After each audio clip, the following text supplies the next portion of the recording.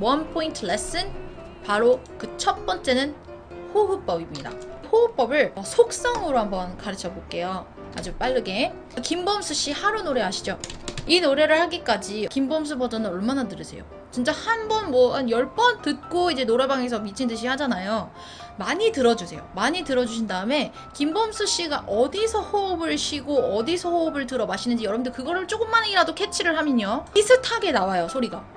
이, 이 부분이 여러분들이 그 김범수가 하는 그대로의 호흡법을 따라하시면 노래의 소리 자체에서도 좀 비슷비슷하게 나오거든요. 쁜 얘가 뭐냐면 여러분들 호흡과 가사가 떨어져 있는 게 제일 나빠요. 약간 동요 부르는 느낌이란 말을 많이 들으시는 분들 잘 들으세요. 숨은 쉬었어. 정말 내가 괜찮을까요? 그대가 한 그 인사처럼 모르는 척 떠나는 게 무슨 말인지 알겠죠? 호흡과 가사가 따로 놀때 되게 좀 동요스럽게 부른다는 사람들이 많을 거예요. 그리고 두 번째 한번 가볼게요, 나쁜 예. 호흡이랑 가사를 같이 잘 섞긴 섞는데 그냥 그걸 쭉 뱉는 거야. 그렇게 되면 알맹이 소리가 없어지거든요. 예를 들어서 정말 내가 괜찮을까요? 그대가 한 그 인사처럼 그래 그대 눈 가린 채 이렇게 하잖아요.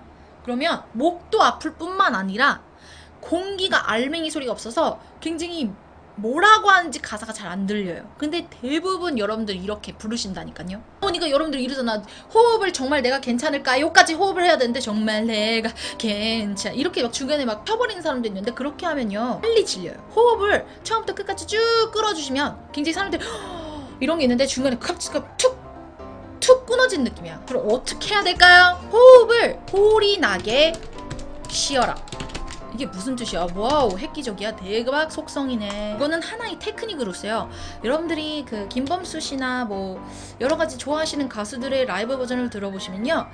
하는 게 다 들려요. 근데 그게 하나의 테크닉이에요. 무슨 테크닉이냐? 사람들에게 함으로써 안정감을 줘요. 그대가 한 예.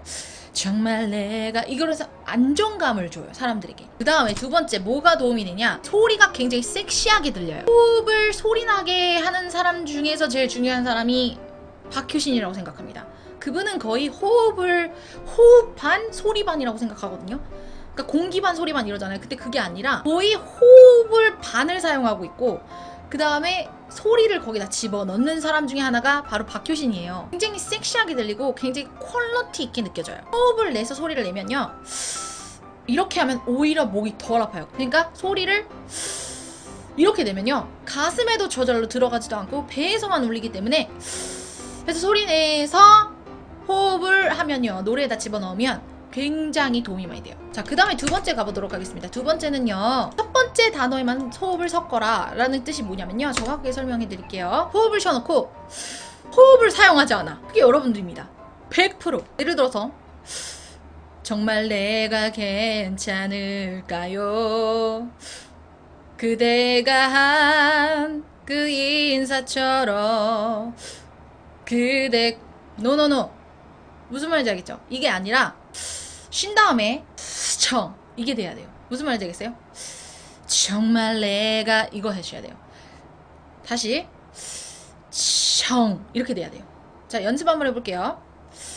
청 이게 돼야 돼요. 이 이빨 사이로 호흡이 나가면서 발음이 같이 돼야 돼요. 모든 노래가 다 그래야 돼요. 보컬 선생님들이 학원 선생님들이 어디서 딱 아 얘는 노래를 잘하는구나 못하는구나 판결이 나는 줄 알아요? 호흡 들어 마신 다음에 정말 내가 여기서 딱 알 수 있어요. 정에서부터. 아, 얘는 노래를 못하는구나. 아, 얘는 노래를 잘하는구나. 알 수 있거든요. 낮은 음, 특히 낮은 음, 높은 음을 말하고 있는 게 아니라 처음에 시작할 낮은 음 있죠. 정말 내가 이거를 모든 노래에 적용하실 수가 있어요. 근데 여기서 첫 단어에만 호흡을 실으라고 했는데 여기서 중요한 게 뭐냐? 호흡을 섞었는데 그걸 쭉 섞어버리는 사람도 있어요. 예를 들어서 정말 내가 괜찮을까요? 이렇게 되면 진짜 나중엔 호흡이 딸려가지고 노래를 제대로 못해요. 그래서 정확하게 정말에다 여기 이 정말에다가만 호흡을 실어주고요. 내가서부터는 호흡을 빼서 위로 올리셔야 돼요. 정말 내가 개 그때는 이제 내가서부터는 발음을 정확하게 찍어주셔야 돼요. 안 그러면 푸 하고 빠지거든요. 예를 들어서 정말 같은 경우는 호흡을 뱉때 내가에서부터는 공유처럼 불러주시면 오히려 그게 알맹이 소리가 잡혀요. 한번 해볼게요. 정말 내가 괜찮을까요?